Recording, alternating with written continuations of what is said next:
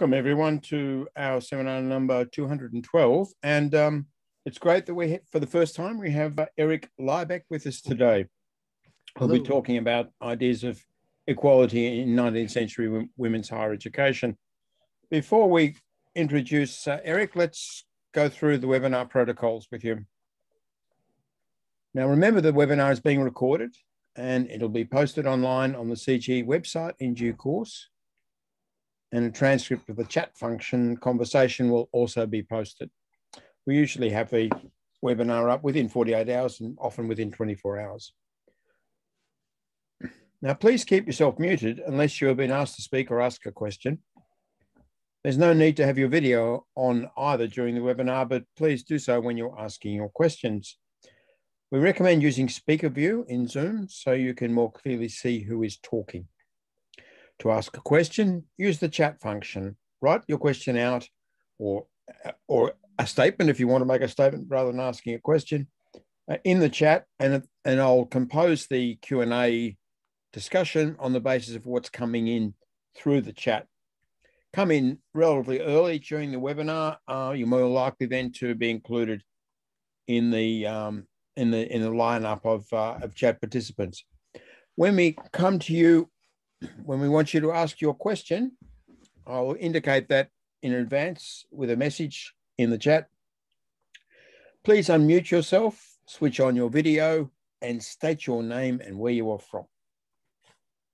Well, it's a pleasure to introduce Eric Lybeck, working in the emerging field of critical university studies, which a lot of us would like to think we've got some connection to. Eric, uh, that's a, a, a, good field to be in.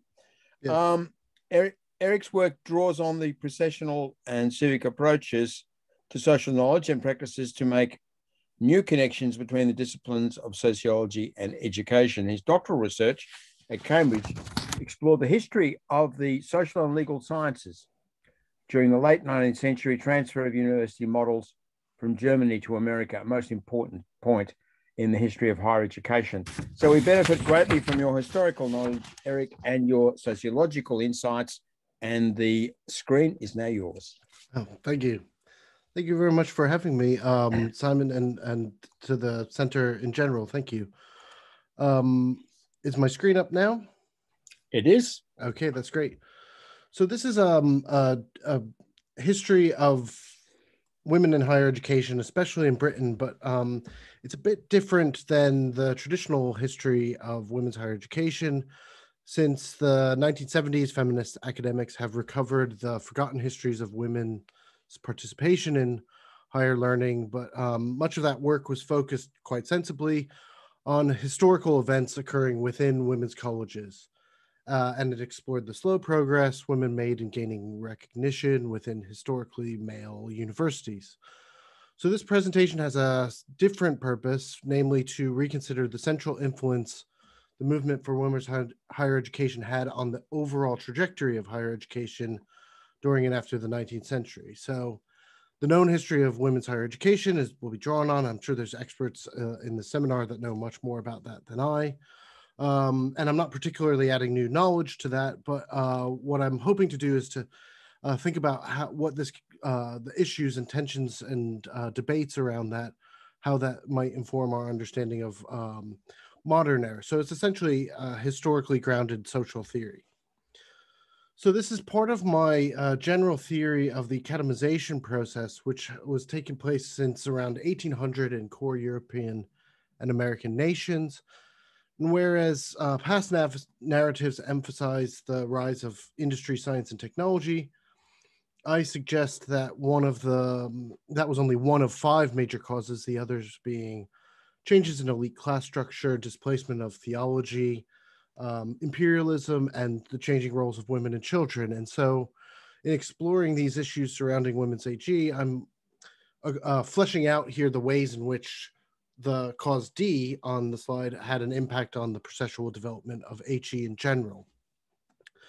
So the growth and institutionalization of women's HE was also interacting with these factors above. And because of this, certain aspects of women's higher education, um, including particularly the tension between different ethical ideals of equality, were uh, embedded in the logic of the entire academization process.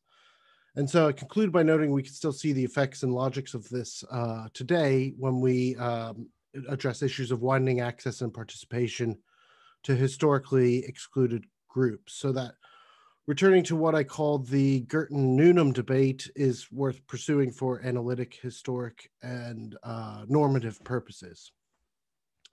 So, to track the significance of the debates surrounding women's higher education in Britain, we need to note the processual conditions out of which these debates emerged. While linked across the second half of the 19th century with suffragism and equality of women in legal and political spheres, we should recall that during the first half of the century, democracy and suffrage had not yet been extended to every male. Reform Acts in 1832, 1867, and 1884 did not lead to universal male suffrage, which was only achieved after World War I. So while women's suffrage campaigns grew in force after 1884, the right to vote was not obtained until 1928.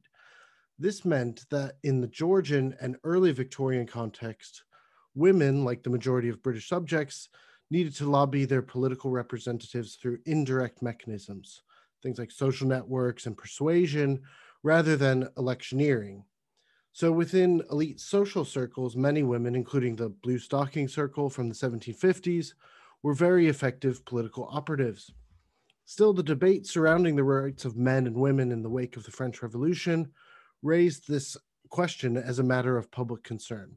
So, most of you will be familiar with Mary Wollstonecraft's Vindication of the Rights of Women.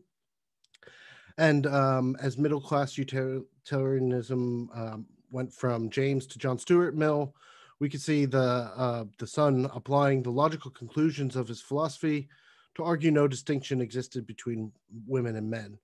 Um, and by the 1840s, Mill's popularity amongst the younger generation of essentially male scholars, intellectuals, and professionals led to a particular commitment amongst some of these um, male intellectuals towards the cause of women's equality. And in particular, a concentration of Millian advocates in elite universities, particularly the University of London and Cambridge, meant that the women's question was debated amongst this um, elite society in, in, that period. So, of course, Mill's liberalism also had this kind of anglicized, positivist uh, social science.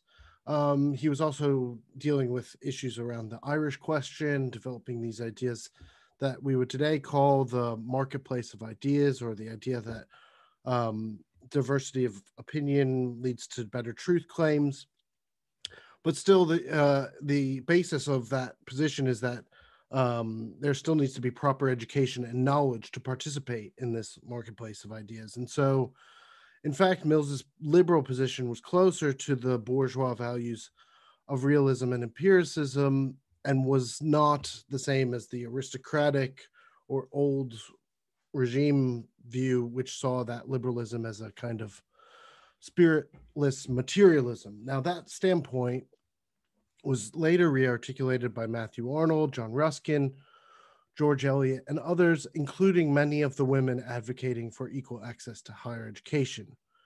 Indeed, it was through the social science associations in London and beyond where women, including Emily Davies, Barb Bodichon, and others, found common cause with a range of politicians, philanthropists, and other reformers.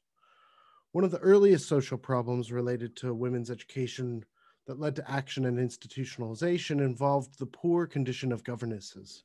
So this led to the establishment of the Governesses Benevolent Institution in 1843, which was linked to the establishment of Bedford College, which is now part of Royal Holloway, University of London. So this, this whole network of social scientists included W.B. Hodgson, an examiner at the University of London, who presented his findings from having systematically reviewed the cases registered at the GBI uh, which led to uh, women becoming governesses in need.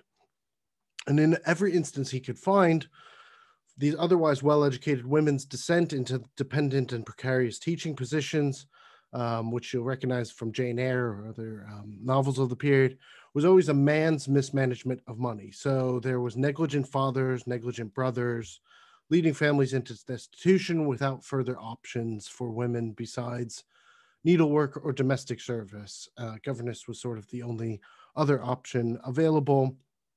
And this was because women were entirely dependent and precarious. So the social scientists resolved to promote a twofold solution uh, to undo this irrational waste of women's purpose, uh, channeling the general bourgeois ideal of utility.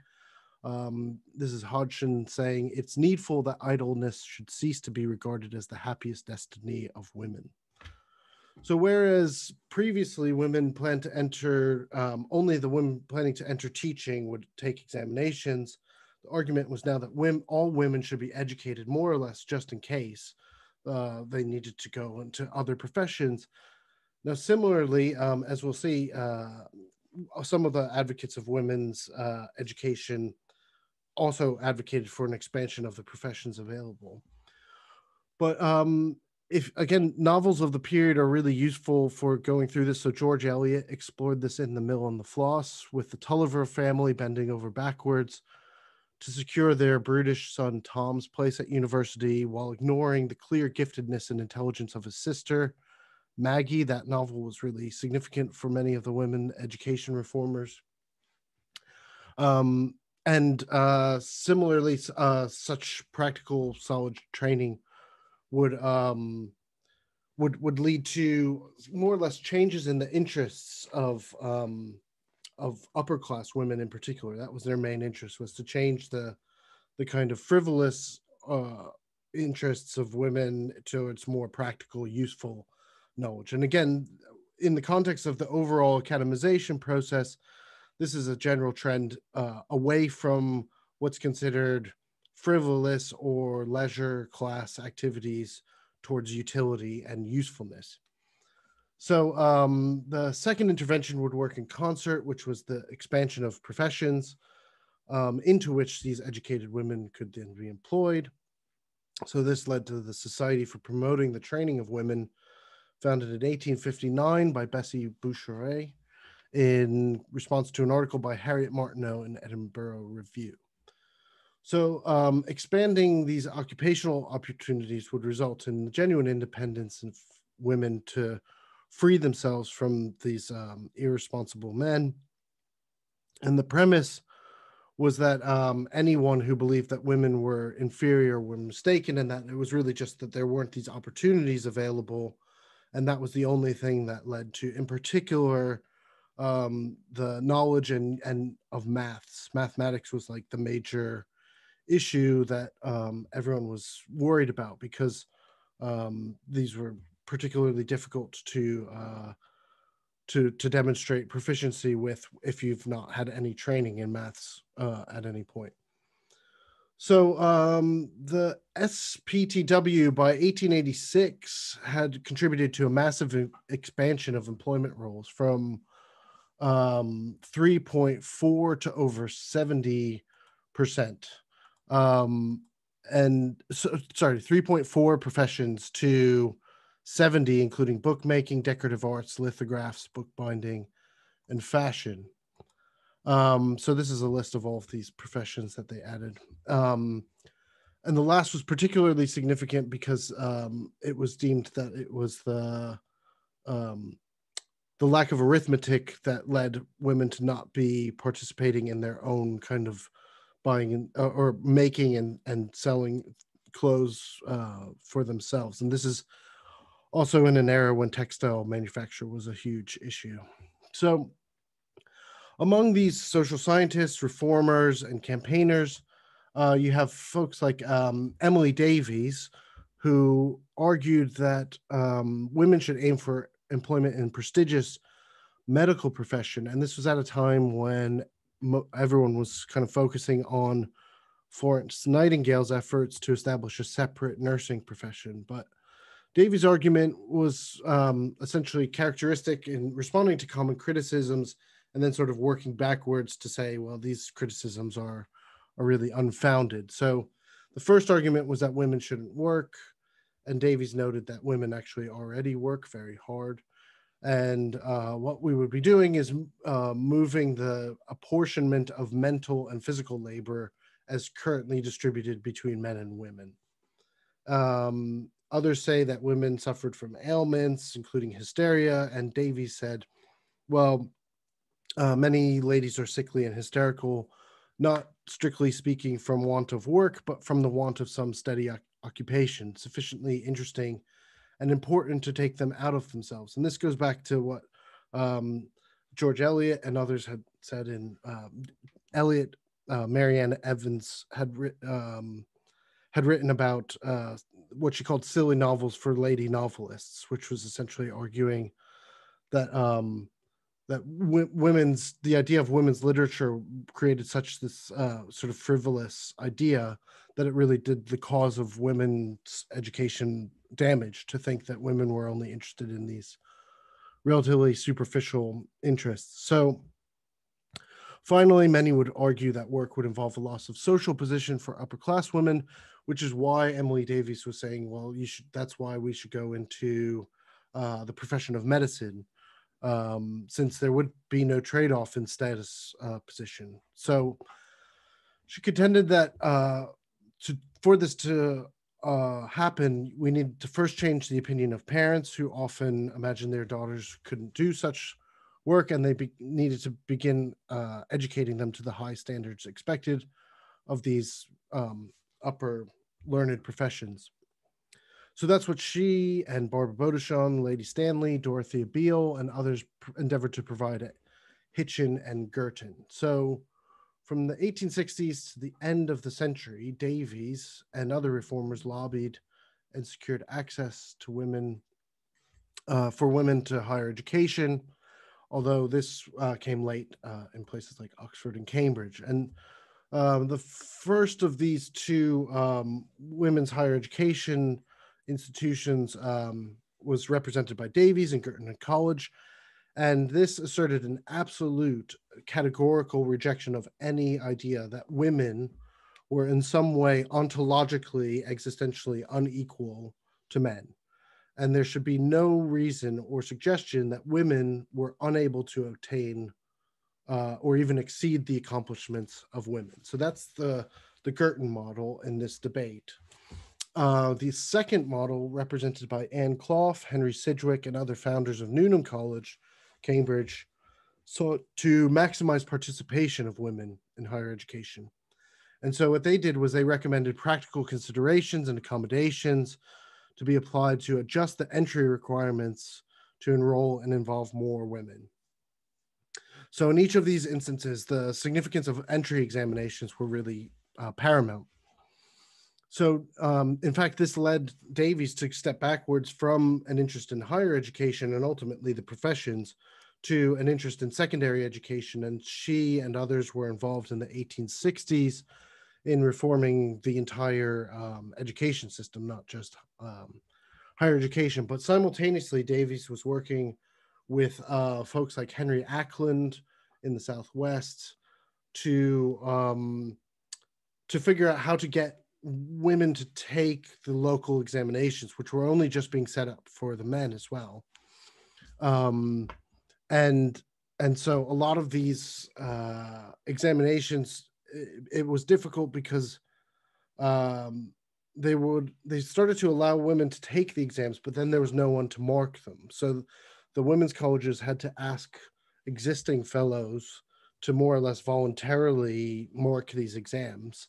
And as with the other issues, mathematics became a real tricky point, and and and that was really something that remained uh, a, a big issue was because it kind of theoretically resolved this Girton Newnham tension because could women do mathematics as well as men? And Girton, um, in the initial round of examinations, you had 40 girls sat and 32 out of the 40 failed, overwhelmingly due to the mathematics sections.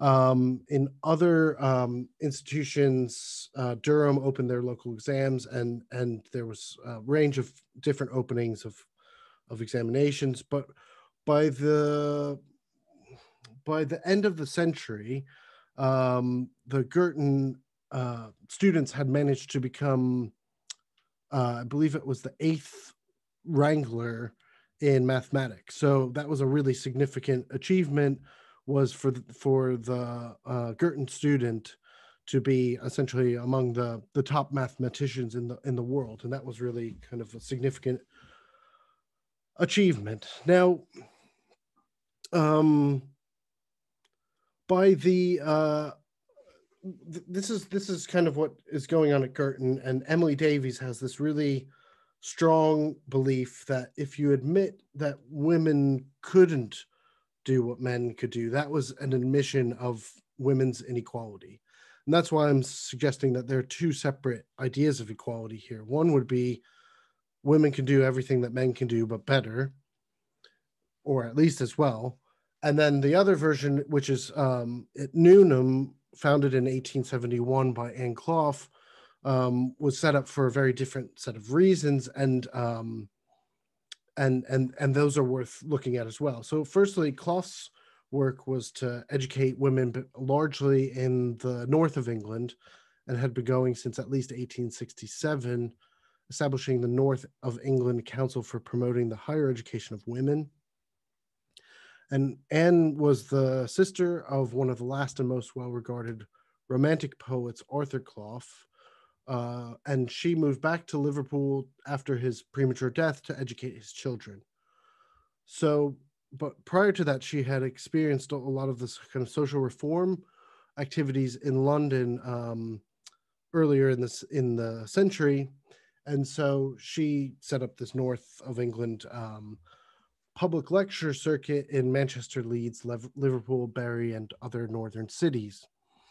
So this on the one hand, provided considerable momentum for the cause of women's higher education or women's education, but also led to the uh, foundation of the university extension movement when James Stuart, a Cambridge uh, academic, accepted an inv- invitation to speak and there and discovered this huge untapped and unmet demand for higher learning in the north of England. And and a lot of that story gets told as a kind of working men's extension movement and so forth. But the, uh, uh, certainly initially, the overwhelming majority of the audience for these public lectures were women, especially middle class women interested in education um, and so forth. So um, this is what Clough is doing. Meanwhile, at Cambridge, um, it's not exactly the same uh, as, as what's going on um, at Oxford with um, this is after the Oxford movement, but that's still kind of like a big issue there. At Cambridge, you have um, what Roth Sheldon Rothblatt calls the revolution of the dons, which is essentially formalizing and professionalizing the younger college fellows as academics and, and sort of taking in the tutorial um, work into the colleges uh, and creating this kind of relational uh, fellow and student Bond, and again, that all eventually goes back to Thomas Arnold and so on. So some of the major figures there were J.R. Seeley, Henry Jackson, Henry Sidgwick, and um, they were building on their their own education as well as this idea of like muscular Christianity, this athletic team, as well as this kind of underlying liberalism, a lot of it inspired by Mill and so forth. So one of these f- folks was Henry Sidgwick, and Sidgwick, um, like Arthur Clough, uh, before his death, uh, resigned his fellowship because uh, they didn't want to have this. Um, they they they they were essentially protesting the requirement of the 39 articles of the Church of England for membership in the in Cambridge and Oxford, and so they it was kind of uh, a protest in favor of religious tolerance. But because of this, Sidgwick was now self employed as a tutor, and he started to get involved in the establishment of Newnham College. And in his correspondence with Anne Clough, um, he recommended that she take up the role of mistress of Newnham College. So between the two of them, they, they sort of construct this uh, Newnham College, which has this very different ideal. And a part of that is just practical, where because a lot of the women coming to Newnham were coming from the north of England, um, they had a very different need from the Girton folks who were coming, a, lot of them from London and the northern home counties and so on. Um, and furthermore, both of them of the colleges had very different needs to those of the male bachelors that were in in the other colleges. So um, Girton College was founded 2.5 miles away, and Newnham College had uh, a very particular uh, housing setup. Uh, but essentially, what Sidgwick started to realize, along with Clough, was that um, the women were not getting the marks necessary on the entrance examinations, and again, particularly noting the mathematics. And so Sidgwick recommended uh, a different set of exams be constructed for women to make sure that as many as possible could join. And then the idea was that they would then educate them to a high standard and then they could, you know, do as well as they could on the examinations. And so that premise, it, it, it sort of makes practical sense that uh, they want to get as many women as possible involved. But the premise was actually re- revolting to Emily Davies, who felt that women should not be handicapped in any way and they needed to be held to the same standards as men. And so this is really where we start to see this this tension is is is almost the two separate approaches to widening access and participation. The one is based off of the equality of the sexes and the expectation that academic standards must be upheld, and then you have the Newnham ideal that the equality of sexes should be achieved through um, handicapping the individuals and, in fact, lowering the standards in order to encourage greater participation. And so, in fact, this tension sort of remains throughout the entire academic process. So, this happens in the 19th century, but in many ways, you could still see this tension happening, especially at places like Oxford and Cambridge, all the way up until the 1970s when you have co-education being introduced and so forth. And I don't I don't quite know how much more time I, I have or if I should start to wrap up or anything. I think you can, can keep going, Eric. It's very interesting, and um, you know, give yourself another eight or so minutes, perhaps. Okay, that sounds good. Great. So, so uh, there's Emily Davies and um, and Clough and and everyone. And the other thing that's interesting about this idea, because it's it's this kind of tension between uh, the standards. So, looking back at the end of the process, Emily Davies says things like, um, even though, uh, so even though early on women were associated with certain subjects, music and uh, literature, and the men were associated with science and mathematics and so forth she was really pleased that by the end of the 19th century that she felt that these standards had sort of merged. And that was always her kind of idea was that we shouldn't really just change the standards entirely to accommodate um, women because it would al- it would always lead to this kind of alternative sort of second class status for women. And also she feared, along with others at the time, that this would be uh, result in what George Eliot called the debasing of the moral currency, and this was a really significant issue. There were lots of um, folks, including um, John Percival, who started the University of Bristol. This kind of idea, he he was explicitly drawing on George Eliot um, when he was setting up uh, Clifton College in in Bristol or Somerset, and so so it's worth reading this quote. So George Eliot is saying, This is what I call the debasing of the moral currency, lowering the value of every inspiring fact and tradition so that it will command less and less of the spiritual products, the generous motives which sustain the charm and elevation of our social existence, the something besides bread which by which man saves his soul alive. And then he says, um, let the moral, or she says, let the moral currency be emptied of its value. Let a greedy buffoonery debase all historic beauty, majesty, and pathos. And the more you will heap up the desecrated symbols, the greater will be the lack of the ennobling emotions which subdue the tyranny of suffering and make ambition one with social virtue. And so this is also really similar to some arguments that Matthew Arnold was making at the time. John Ruskin would make these types of arguments. And it's essentially saying if you give everything over to this utilitarian sort of spiritless idea, what you end up doing and and if you just say well we want everyone to go into education for and and we we'll just get rid of the whole knowledge that they're trying to acquire you're actually uh, debasing the whole thing that you're providing the access to. And so there it's it's not simply this issue of equality and and does that mean that there's a biological inferiority for men and women but um, is there something that gets lost if you just widen participation without thinking about how you're going to conserve what Eliot's calling the moral currency um, as you expand it? And uh, similarly, um, this is, I, I, didn't intend to do this plug, but next week I'm going to be uh, doing a talk on our, our new um, academic college channel on the relationship between Eliot's idea. There's also um, Matthew Arnold. Nietzsche is making similar ideas in Germany. You have W.B. Du Bois making similar uh, arguments in the United States.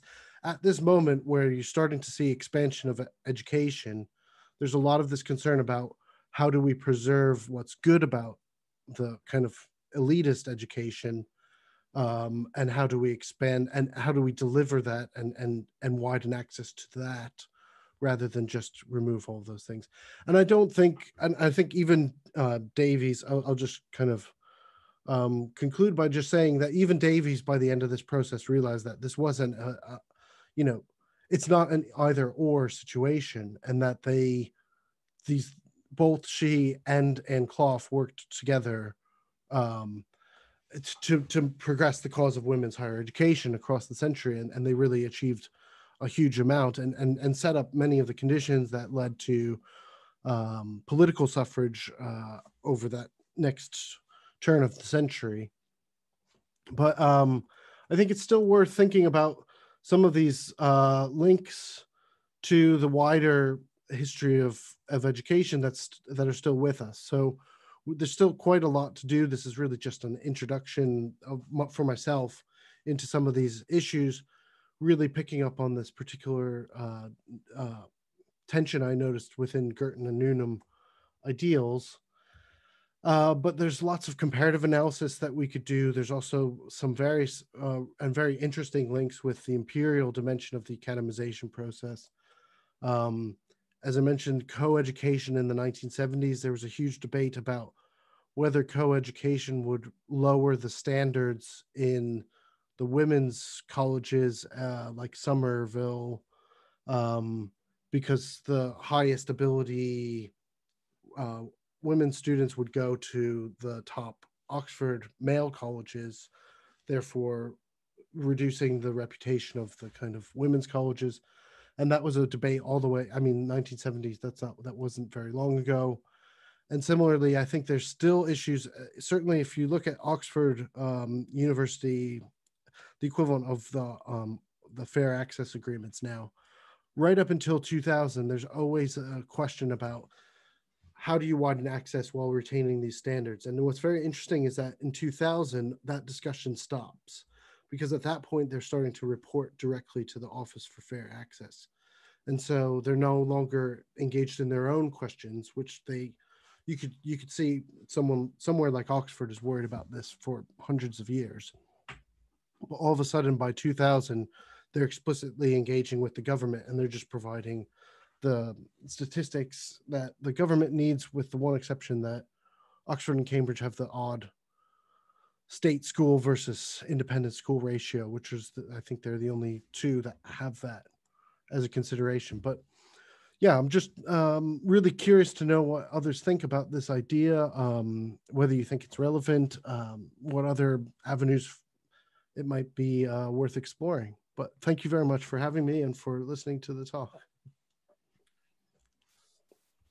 Thanks, Eric. That was really rich, and uh, I think you know a lot of people found it, will have found that very interesting. We we we um, noticed with this webinar that your um, although you had a I think 70 registrations, your um, actual take up, your participation ratio is one of the highest we've had at almost two thirds of those registrations have come in. So you know, we've had very good numbers actually considering, and um, uh, you know, historic topics, um, they don't necessarily appear appear to people as you know utilitarian and useful for their studies at the on the day. But you know when once the webinar starts people get absorbed by the by the content. Yeah, and that's what's yeah. happened today. Uh, i'm going to ask you a question then i'm going to pass to to mike ratcliffe and we've got a couple more people coming in as well. Um, my question is really about race and whether that intersects with the gender discussion at all in, in the late 19th century period the, and the contrasting examples of Girton and Newnham you know that you've talked about. I mean, does does race figure in the in the dialogue at all?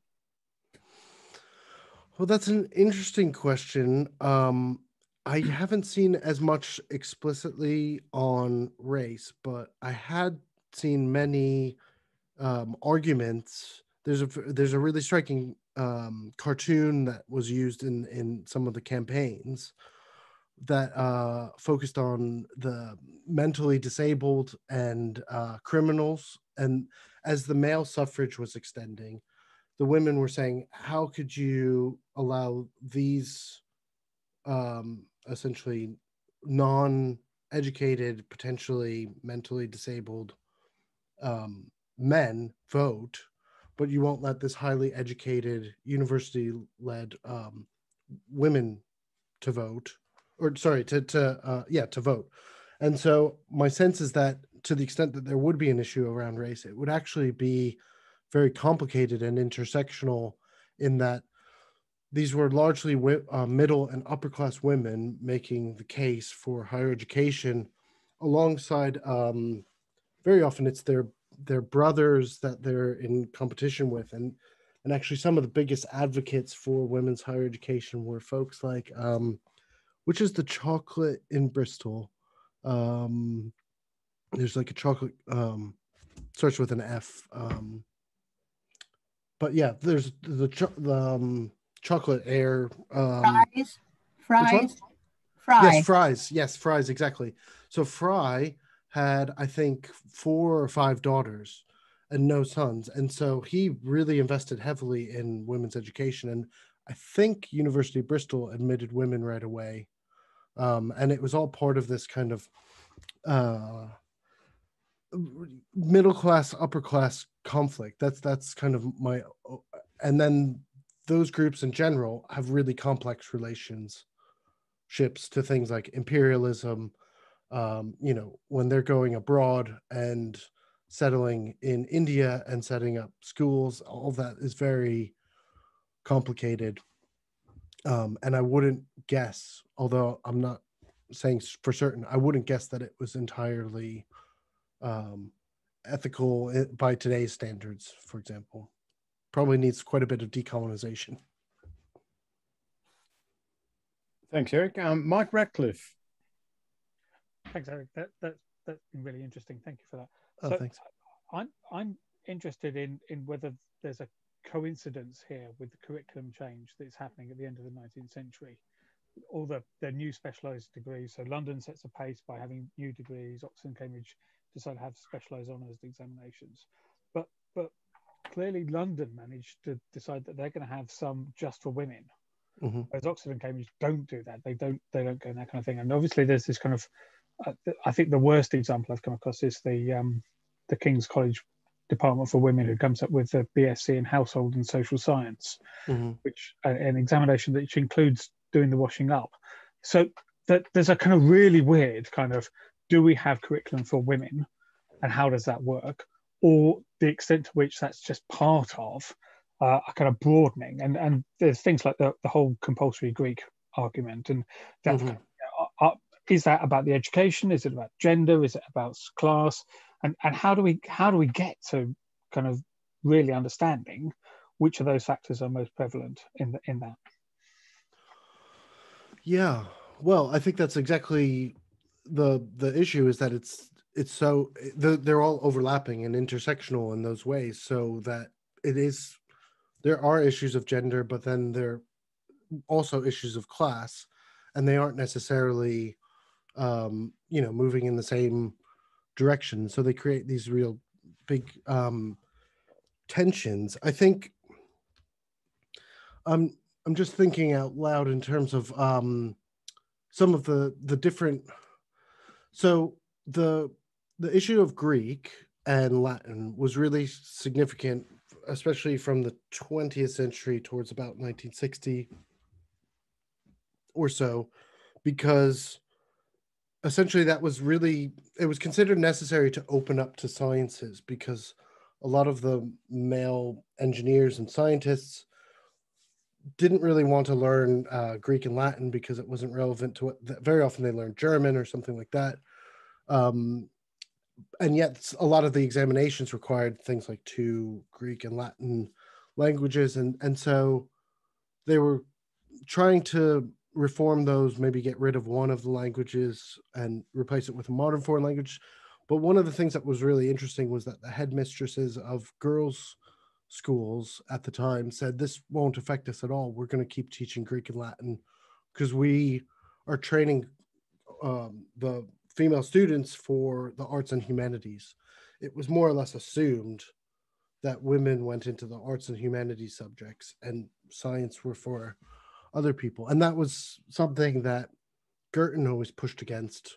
Girton always really had these like really elaborate laboratories and and scientific equipment and really pushed um, mathematics. And I think that uh, that all goes back to this uh, earlier idea of Emily Davies, which was that you know um, women should be in the most elite positions in society, uh, and that was what higher education was for and there's some great essays by Davies talking about you know a lot of people think a lot of people at the time thought women's education should be to make them a good wife.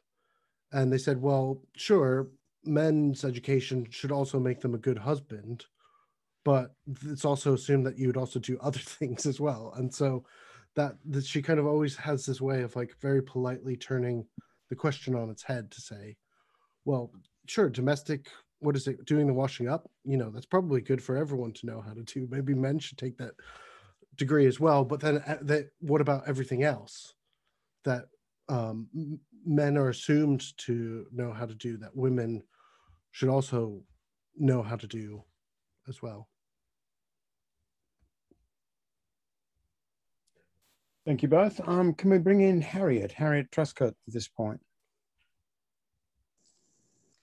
Hi, Simon. Um, actually, my, mine was not a question so much as intended as a response directly to uh, Mike Ratcliffe. Mm-hmm. Um, to to note that um, that some of these some of these courses, which sound extraordinary to us, were in fact uh, had a great emphasis on um, on biochemistry, uh, mm-hmm. what we would now see as biochemistry, um, under the guise of domestic science. Mm-hmm yeah, and and a lot of the domestic science degrees were part of a general philanthropic science, which were um, designed towards helping um, the poor with hygiene and, and and those types of issues. So it was kind of an overlap with what we would today call social work, but also with a kind of, as you said, this natural scientific biochemistry. Um, so it, it wasn't quite um, what it sounds like today. It was uh, it was much more embedded in in things like um, social work and philanthropy. Thanks, uh, Harriet, and thanks, Eric. Uh, Lindsay, Lindsay Hurst, please. Lindsay. Hello, sorry, technical difficulties. um, yes, yeah, so somebody who graduated from Girton College last year, I'm mm. currently at Fitzwilliam College, moved slightly further down the road. Mm-hmm. Uh, it's really interesting to hear more about the history of those colleges and mm. also quite interesting in what's happening at the moment. I mean, certainly in terms of Lucy Cavendish College. Which I, I, think is no longer a female only college it's now sort of a mixed college. Ah. uh, and it's interesting as well regarding like the whole transgender issue as well and how that's affecting women's education. So what are your thoughts on that? Right um yeah so there's lots lots of issues there. Um so lucy cavendish is a very interesting d- d- founded at a different point in time. Also linked as much to the women's education issues as to mature students um, uh, accommodation of mature students and um, so um, how to organize what would have been the mature students associations into colleges and so forth. Um, so that's a different. So and then Girton, well, yeah. So Girton and well, Girton went co-educational, and then Newnham is still women's only. At least it was when I was. I went to Girton as well, so um, uh, it's it's sort of where my interest in all this started was um, walking through the corridor system because one of the things that was also really interesting was why it was set up as a corridor rather than a staircase is because they had a plan B, which was to make uh, them into hospitals if they needed to, if the college plan didn't work out, they could be a hospital.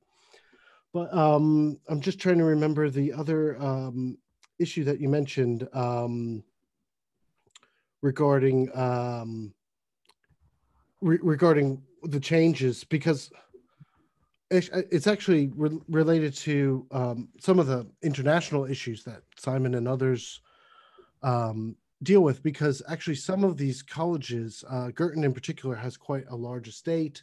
It actually can accommodate quite large numbers, um, but it's not necessarily well known uh, compared to places like um, Trinity College, St. John's.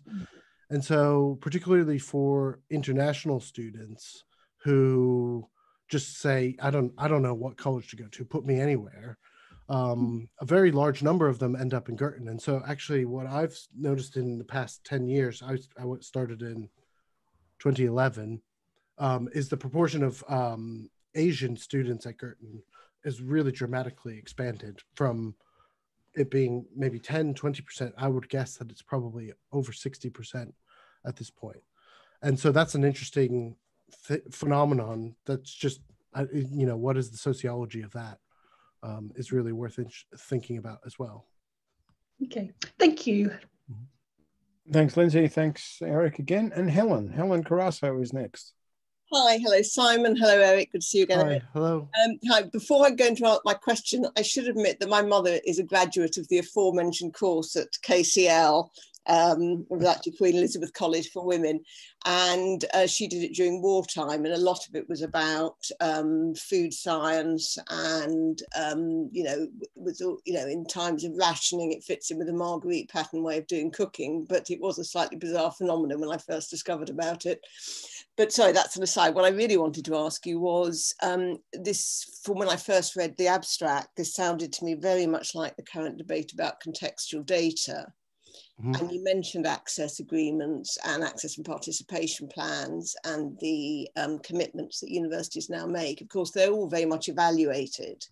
Mm-hmm. Is there any evidence about how these different approaches impacted on either the profile of students who admitted or outcomes at the end of degrees in one, in effect, taking a contextual data approach and the other mm. setting exactly the same admission standard? Yeah, well, I think um, I don't know the exact figures. I don't know if they were tracked. I'm sure that they were, but I just don't know. But my sense is from the discussions, the, the letters and so forth that they're writing at the time, that Girton had a much harder time of getting their enrollment up to what they needed it to be compared to Newnham, um, which uh, sort of, in many ways, um, I can really appreciate the Newnham idea, which is they they sort of looked at each individual student and thought, okay, well, what are their needs? Are they coming up and down from Manchester every other week?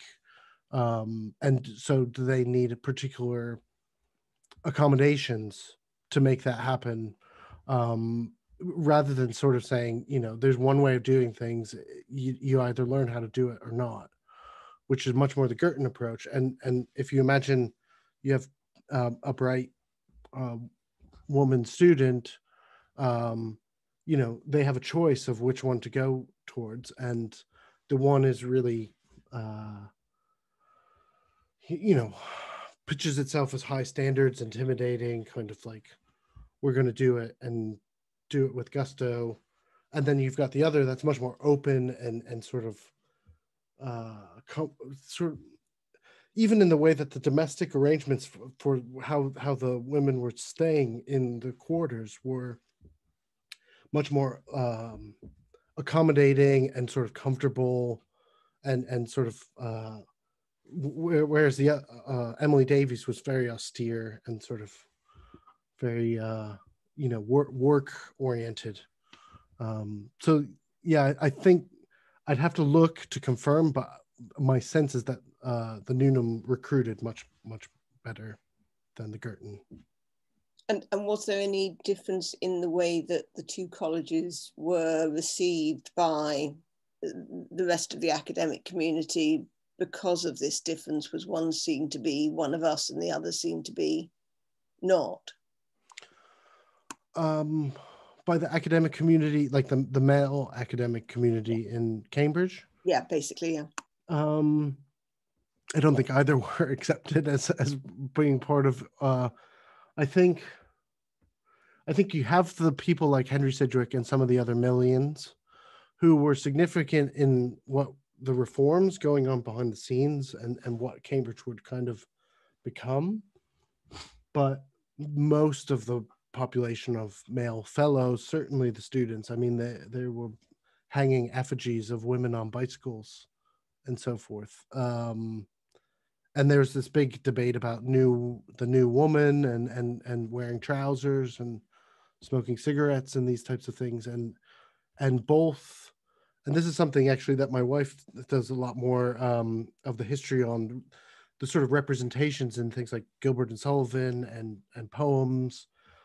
Uh, women's education was considered a really like a, a moral crisis going on at the time. That this was like the end of civilization to have women learning these things um, that they shouldn't be learning. Thank you. Sure. Elil, Elil Cohen. Hello, thank you. Um, yeah, thanks for that, Eric. It's been really, really interesting.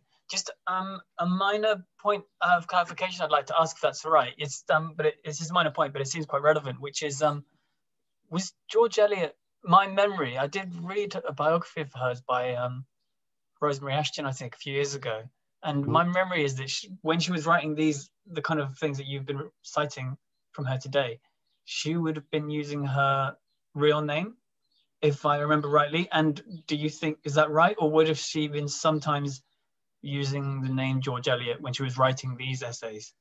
Because it's, it's only minor, but it seems like it's also relevant, isn't it? If she was yeah. Writing this as a, a yeah outwardly as a woman or not. Yeah, I think that's right. Um, I I'm not as familiar with her biography. The published text that I've drawn the quotations from had George Eliot as mm. the author. Okay. Um, but those are, you know, fourth, fifth edition. So I I, sh- I could go back and, and check the dates. They are towards the end of her life that she's writing these kind of nonfiction essays, these kind of like moral commentary. Um, I forget the name of the book now, but it's it's she's also adopting like another pseudonym. Uh, I think it's like Doctor Clausus or something. It, it's like a part. She she's adopting another persona that's not George Eliot at that point. So it could have still been ambiguous. That's interesting, isn't it? Yeah, it gets lost sometimes, doesn't it? When somebody uses a pseudonym, it's nice to forget when yeah. they are when they're not. But okay. there's a there's a really interesting um, description that Emily Davies has in her papers of visiting George Eliot or, or Marian Lewes at the end of her life and it sounds like Marian Lewes just was essentially like modern life is completely rubbish, and and that everything about it was just decadent and decayed, and and even even um Emily Davies was a bit like, wow, that's like really extreme. Like tone it down a little bit. Um, so that that's it seems like she was at that stage of her life where she was really frustrated. I don't think that she considered herself to have progressed things, although I think in in hindsight, I think that hers was one of the major achievements of the century, both in literature and social commentary. Indeed. Thank you. Thank you both. Um, what I'll do now, Eric, is take a bunch of questions at once, if I can, and if you can jot sure. down your responses as we go, so you'll be able to come out with them all at the end. Sure. Yeah. Um, the first two questions are going to be from two of our regular uh, participants in the webinar series, Victorita Triff and uh, David Law, and then we'll bring in Naomi Hetherington and Astrid Favela. So colleagues, be ready for that. Uh, and let's start then with Victorita. Hi, uh, thank you, Simon. Uh, congratulations, Eric. I'm very interested in the um, uh, policy on the future. Uh, so my question is related to this area. Uh, what is the future of uh, women in higher education in your opinion, please? Mm -hmm. Thank you. Second question then from David Law. Thank you, Simon. Uh, and thank you very much, Eric. Uh, I wish I knew more about this subject. Um, my question is really about the connection between uh, religious nonconformity mm-hmm. and the desire to achieve emancipation through education on a non gendered basis. Um, and of course, it was the reference to Fry's in Bristol, which has prompted this. But I just don't know whether in Cambridge there was anything of, of that sort. I'm minded to add the comment that we sometimes forget uh, how even in the late 19th century there were all sorts of discriminations. Only 1871, I think, was the University Tests Act, you know, where uh, non-Anglicans uh, could actually be seen on any kind of equal footing uh, with Anglicans. So there's a very deep connection between religion and higher education in the UK, as I'm sure you're aware. Our third uh, question comes from Naomi, Naomi Hetherington. Hi, thank you very much, Eric. Um, something that occurred to me as you were speaking, um, and as someone who's an undergraduate uh, at Newnham, and one of the figures that I did my PhD on was Amy Levy, who is a very uh, early student at Newnham. Um, and a lot of my teaching since has been in the continuing education, lifelong learning sector. Um, one of the queries that has always uh, arisen about Levy was why she didn't, in inverted commas, finish her studies at Newnham. Um, and of course, a lot of Newnham students, um, one of the, uh, a part of this more flexible model was not just in their entrance requirements, but their studies when they got there, mm-hmm. um, that they didn't have to do the full tripos. Um, and I know when I was researching Levy, this flexibility was presented uh, you know, to me as a, as a very, um, a kind of very positive aspect of the Newnham model. Um, ironically, uh, I got my current job uh, through a big restructure um, at a university which offered uh, alter an alternative pattern of study um, for lifelong stu learning students to be able to uh, gain a, a, degree at a pace that was right for them. Mm -hmm. um, and along with much of the rest of the sector, um, this is now gone. Um, and a lot of the arguments um, around the restructure um, was precisely this argument of bringing in something uh, around um, kind of standard standardizations. And the program that I now teach on um, is a foundation year program where uh, we then equip students to do a pathway degree and mm-hmm. study mm. a degree, you know, at the same um, department at the same pace as everybody else. Mm-hmm. So I, I don't have any answers here, um, but it, in, in thinking about how these questions are relevant to today, um, and I know there's, there's a sort of separate debate around continuing education that goes back to the 19th century as well, um, and figures, figures like Carpenter, who I ironically is a friend of Levy's. Um, but but that that felt very alive to me um, mm-hmm, as an mm-hmm. area where where this early debate could speak to today. Definitely. And our final question comes from Astrid Favela. Yes. Uh, hi, um, hi everyone. Thanks for this presentation. Um, my question is simply whether uh, in the historical period that you've considered and uh, universities of uh, Cambridge and Oxford, uh, early women dropout was an issue at all. Thank you. Well, it's four questions for you, Eric, um, and you'll be closing the webinar with these uh, with this response. So okay.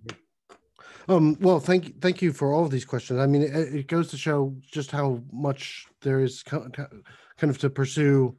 Um, hopefully, this uh, paper, which is uh, in my book, University Revolution, um, is, is kind of a starting point for some of these questions. Certainly, the religious conformity is overlapping um, in in lots of really significant ways, um, and and in general, the reason I think that this issue of women's higher education is so important uh, in setting the terms of higher education in general is because you have things like religious inclusion, gender inclusion, class inclusion all happening. And now now we're talking about you know um, greater ethnic um, participation ethnic minority participation different um, inclusion of of um, sexuality and and different forms of identity.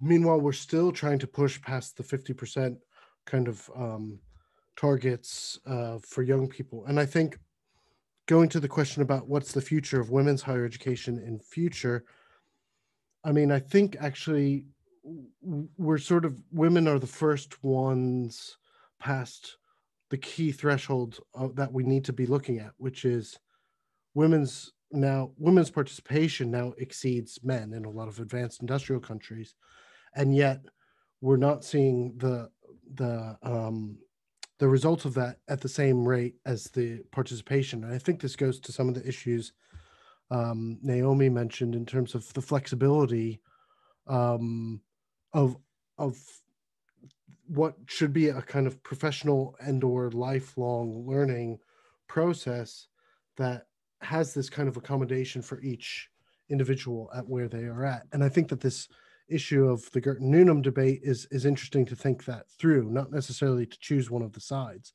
but do you just hold the standards exactly the same or do you change the standards?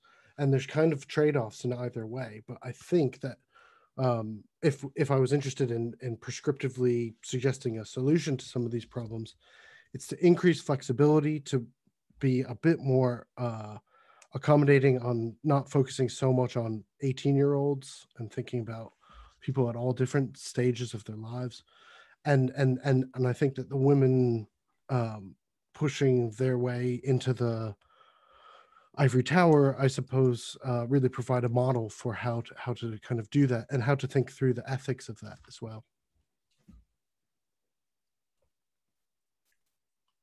I have to say um very warm thank you eric for your contribution today i think that everyone's really enjoyed it really learned a lot and you know your slides and your delivery very effective and uh, brought us into this whole world and and some decades of it uh, and um I noticed a lot of very positive comments coming through, and Mark Ratcliffe has in fact posted a clapping symbol on on, on his name in the webinar. So we look That's forward to having you back when you've got more historical revelations for us. Gender, of course, is really important and interesting to all of us, and its intersections with class and, and race in the present context, especially interesting. But uh, you know what an important struggle it was, you know, historically, how how it's opened up the struggle of so many others I think, the struggle of women, the struggle of half of half of humanity to be recognized. Mm-hmm. Um, and um, uh, I'm sure it's a theme that, well, it, it, it, it, continues to come up again and again because, because all these, these systems are power intersect and um, gender issues are always there. Um, next uh, webinar, folks, on Thursday takes us to the uh, relationship that we often um, investigate, which is the relationship between China, higher education in China, and the rest of the world. And in particular, China's Young Talents Program. You know, what happens when the returnees go back to China? Uh, and that will be presented by Giulio Marini and Lily Yang. Uh, and we look forward to speaking with them in two days' time. I hope all the people who've taken part in this webinar will come back again on Thursday and in subsequent webinars. And we look forward to seeing you all then. Once again, Eric, thank you very much. Oh, well, thank you for having me. Thanks.